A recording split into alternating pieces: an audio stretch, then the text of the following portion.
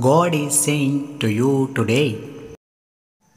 You simply need to shut your eyes and accept your reality.